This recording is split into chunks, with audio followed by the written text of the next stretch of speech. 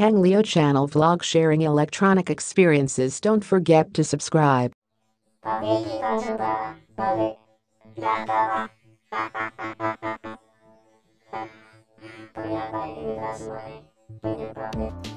Assalamualaikum warahmatullahi wabarakatuh. Selamat siang mitra semua nih. Karena di sini siang, siang-siang semu. Kedatangan TV nih LG Power Black. Oke untuk seri ini nih eh, seri berapa ini ya? Oke seri ini 21 FU 6AD T4 Nah itu seri ini ya. Nah ini. 21 FU 6 AD Oke katanya ini kasusnya eh, sebelumnya TV itu di setel diputar maksud saya. Normal aja ya ini habis nggak tahu apa. Tiba-tiba eh mau dicolokkan ke TV digital untuk konektornya keluar api ya piak-piak gitu. Terus orangnya nggak berani teruskan karena juga kaget atau gimana. Nyetrum katanya ini wah bahaya ini. Oke kita coba aja langsung ya Eh, seperti apa? Kita colokkan untuk sumber listriknya dulu. Oke ntar. Kita colokkan. Oke udah power on ya.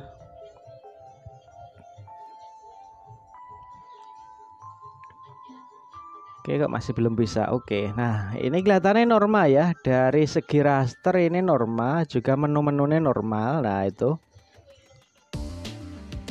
Jadi kemungkinan besar ini menurut saya yaitu Ada sesuatu yang bocor. Ada keluar api Itu kemungkinan Ada yang bocor ya. Dan untuk konektor Kita cek dulu. Ini posisi on ya Posisi on listriknya. Diputar itu normal dan coba kita cek ya katanya keluar api. Kita coba singgulkan untuk obeng. Dan kita cek waduh ini bisa mitra bisa dilihat ya. Pantas saja keluar api nah ini. Keluar api cukup besar ini. Biasanya kan kecil kalaupun untuk induksi itu ini besar. Ini pasti nyetrum ini. Wah kaget ini bikin kaget orangnya juga berbahaya. Nah ini. Berbahaya ini. Ini pada posisi siang loh sinarnya sampai segini untuk api nih nah ini bahaya oke kita matikan aja kita bongkar. Ini pasti ada yang tidak beres ini pada mesin nih. Oke kita bongkar dulu. Oke mitra semuanya mesin udah kita bongkar ya. Kondisi mesin kelihatannya juga masih bagus ini. Lumayan bagus. Dari segi komponen juga tidak ada yang mencurigakan. Oke saya lepas dulu untuk slot-slotnya tapi di sini agak ada bekas minyak atau apa ya itu?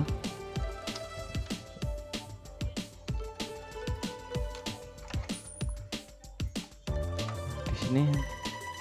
Tapi kelihatannya juga tidak masalah ya untuk lembabnya Oke kita balik aja mesinnya apakah ada problem di sini? Oke dari bekas solderan kelihatannya tidak ada masalah di sini ya. Oke oke semuanya Oke langsung aja kita akan lakukan pengecekan tegangan di sini. Kita coba lagi. Kita pasang untuk slot AC nya AC nya berhubung saya lepas ya. Yang lainnya tidak ada. Kita cek tegangan aja dulu. Kok bisa nyetrum TV ini? Ada kebocoran di mana? Kita akan selidiki dulu kita mungkin mau musim penghujan ini. Ada genteng bocor ya kalau mungkin istilahnya. Oke kita cek bagian tegangan.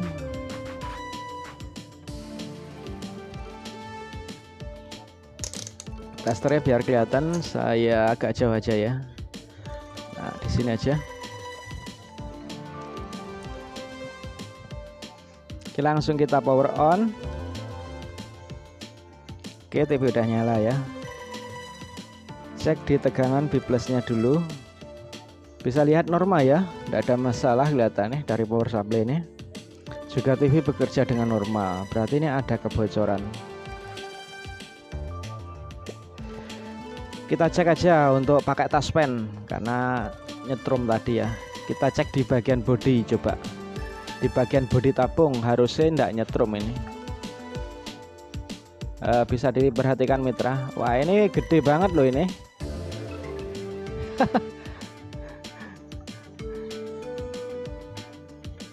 Nah ini. Ini gede banget ini. Oke coba di bagian Wah ini bisa perhatikan mitra. Ini bahayakan orang ini. Bener ini.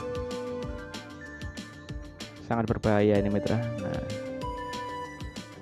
Oke kita matikan aja ini. Kalau dari segi tegangan kelihatan tidak ada masalah Ini. Komponen bocor ini. Ada yang bocor.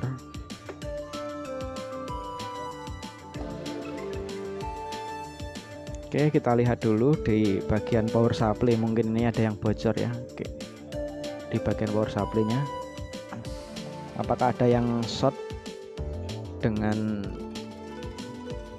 tidak ada yang lembab juga di sini kelihatannya juga oke.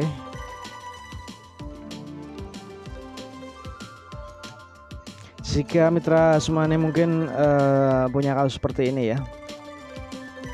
Kita langsung aja fokus ke bagian primer ya karena untuk tegangan listrik hubungannya dengan jala-jala PN ya di bagian ini ya bagian primer. Kita fokus saja ke bagian primernya. Oke kita cek di sini sirkuitnya. Oke di sini masih saya belum temukan alat TA ini. Coba saya cek dulu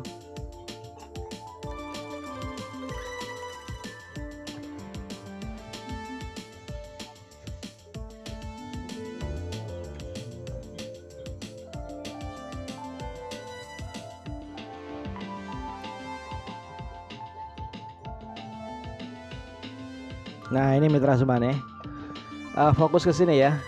Saya fokuskan fokus apa anda ini? Nah di sini.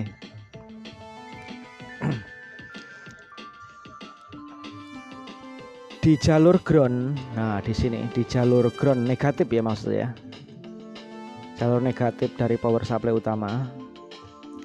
Itu umumnya ada tahanan juga kapasitor ya yang langsung dikoplingkan ke ground bagian sekunder negatif bagian sekunder. Nah untuk TV LG ini di sini ada dua ya. Nah ini untuk bagian kapasitor ini. Dan ini untuk bagian tahanan ya. Tahanannya biasanya ukurannya eh, besar ya. Mega ohm ya mungkin mega ohm ya sekitar ini 6,6 mega ini atau 2,6 mega. Nah ukurannya ini 2,6 ternyata. Ukurannya biasanya mega ohm di paralel dengan kapasitor tadi. Nah ini. Ini untuk jalur tahanannya di sini dan ini untuk kapasitor ya. Kita langsung aja fokus ke sini ke kapasitor ini. Oke saya lepas dulu dan nanti bisa dicek langsung ya. Oke mitra semuanya Nah ini bisa dilihat ya. Kapasitornya saya fokuskan dulu. Nah ini. Ini bagian tadi ya Yang paralel dengan Negatif Power supply primer Dikopling ke negatif Power supply bagian sekunder. Ada kapasitor ukurannya berapa ini? Bentar. Tulisannya terlalu kecil saya pakai lensa dulu. Matanya saya rasa blereng berhubung ya urung ngopi. Oke ada dua dua dua. Nah ini. Dua dua dua. Satu kafe. Voltase besar ya 1000 volt 2,2 N ya ini. 222 itu. Kelihatannya kan masih oke ya ini masih bagus ya. Masih oke ya. Tapi kita coba balik. Lihat lah. Ternyata ini mitra semua nih penyebabnya dari sini waras. Dari sini edan nah ini kemungkinan besar memang ya kapasitor ini yang bocor ya. Mengapa ini posisi pecah ya malah posisi pecah. Tapi ini kok TV bekerja normal karena untuk power supply nya ini uh, normal semua dan ini ke terjadinya kebocoran karena ini yang rusak ini ya. Ini rusak. Rusaknya pecah itu. Jadi ikut nyetrum dikonekkan anten uh, lewat antena TV biasa ataupun mungkin pakai set top box digital lewat AV ya pasti ya ada percikan api ya. Bisa dipastikan itu. Kita ganti dan kita tes semoga news ya hasilnya. Oke. Oke mitra semuanya udah kita rapikan udah tutup ya. Ini tadi si piang keroknya ini. Ah, kapasitor 2,2 satu kafe udah kita ganti dan kita coba dulu Oke udah on ya. Kita nyalakan dan kita tes ini nanti untuk hasilnya. Oke TV udah nyala ini. Nah, itu kita pindah ke AV dulu karena dipakai untuk set top box digital atau TV kabel mungkin ya. Oh iya kita tes dulu ya untuk api ini apakah masih nyetrum bikin kaget orang. Ntar ini kok ribet oke nah, di sini. Nah, ini bisa dilihat HP ini tidak mampu ya. Oke bisa dilihat. Nah ini mitra. Aduh ribet. Ya bikin berdiri aja ndak. Oke di sini ya. Bisa diperhatikan. Nah. Bisa diperhatikan mas semuanya udah ndak nyala merah lagi kalaupun ada itu redup itu induksi ya biasa loh untuk jenis elektronik asimetik ya. Sudah dipastikan aman. Disentuh ini aman ini udah ndak bikin jegerak rambut. Langsung tes pegang nah udah oke semuanya ya. Dan tidak masalah kita colokkan aja. Kita tes langsung. Kita posisikan ke AV dulu. Uh, udah ke AV untuk motor set top box ya. Oke. Kita coba colokkan untuk AV ini audio video ini oke.